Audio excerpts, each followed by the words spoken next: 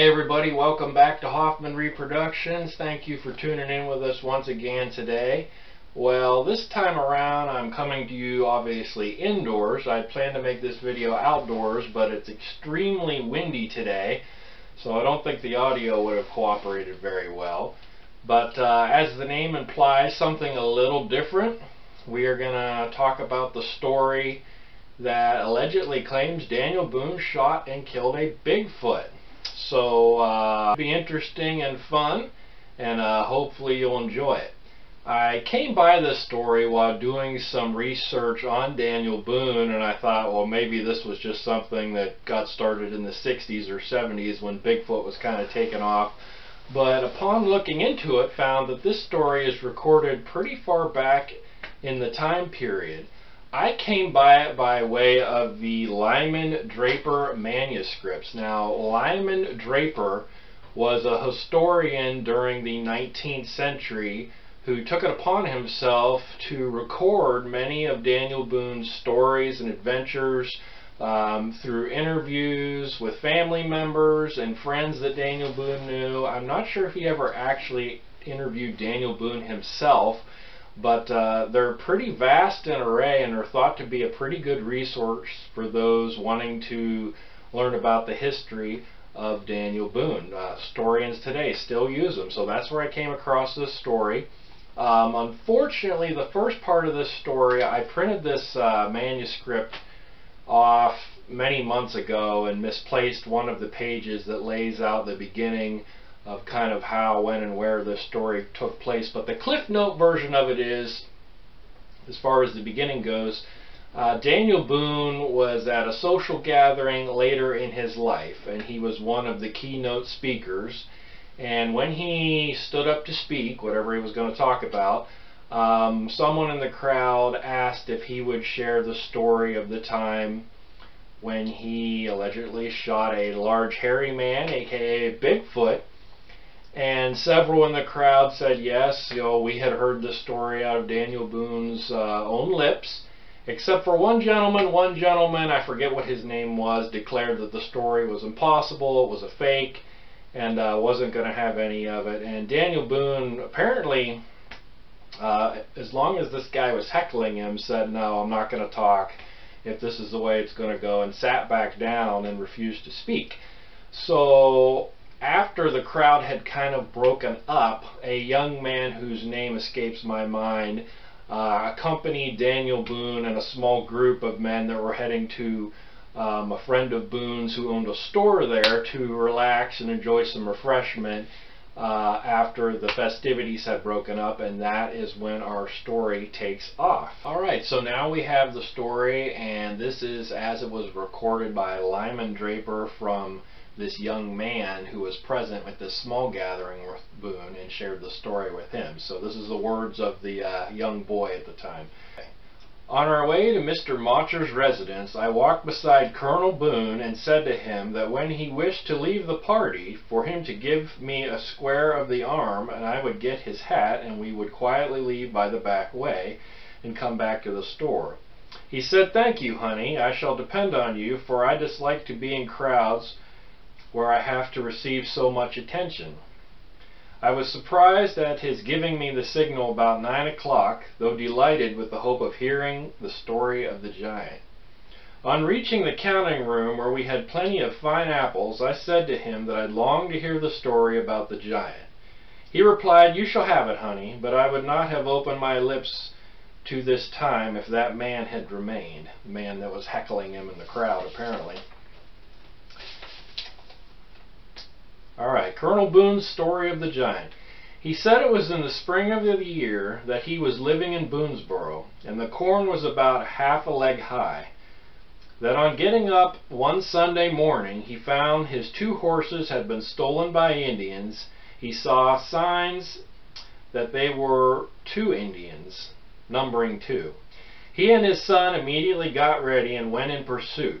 They pursued the track to the headwaters of the Hinkston Creek to Calk Spring, which had had the date of February 1778, which had been cut down on a tree by uh, William Calk, who entered the land and was living on it when he knew him. Boone was present when the tree was marked. The pursuit, the track down, and the creek they'd crossed, the little mound where Mount Sterling is now located. They pursued the track down to the creek to where it empties into the Licking River, which they crossed to the right bank in pursuit. The track went down the Licking River to the Ohio, where Cincinnati now stands. They had come so near upon the Indians that their fire was still burning where the Indians had stayed before they crossed the Ohio River. He and his son immediately made a raft and crossed over, but on ascending the opposite bank they found the signs of about 500 Indians. They knew that further pursuit was useless and turned back and landed below the mouth of the Licking River. It was about 3 o'clock in the evening, intending to go about 10 miles down to the spring that he knew of, which came out at the foot of the hill where there was fine open woods and grass, usually abounded in deer, and they stood in need of provisions, as they could shoot none whilst in pursuit of the Indians for fear of putting them on the alert by the report of their guns. They found a spring and encamped. There was some rain that night, and the next morning was foggy with mist. The hill ran in the direction of their home. Boone took one side of the hill and his son the other. As they walked about the same speed, they could be in hearing of each other's guns. At about ten o'clock, the fog having cleared off, he heard his son's gun fire and immediately heard it fire again.